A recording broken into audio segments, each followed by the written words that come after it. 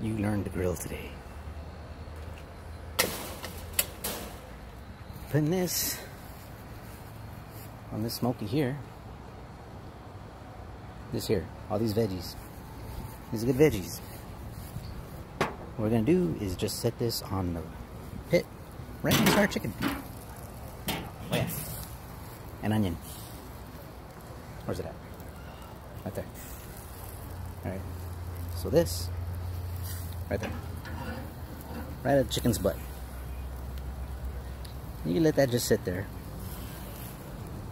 I'm gonna turn this around so we can all see. I think.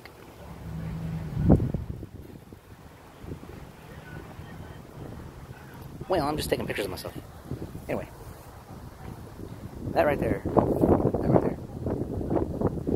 You can just let that one sit there. Wife does not like burned stuff. She calls it burned. It's not burned. It's just a nice sear char. That's what I like. She doesn't like it. So she can have all the squishy stuff on the top. I'll take all the charred stuff down at the bottom.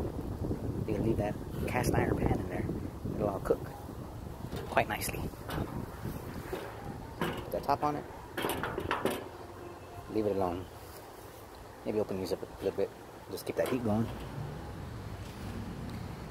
But then you're good.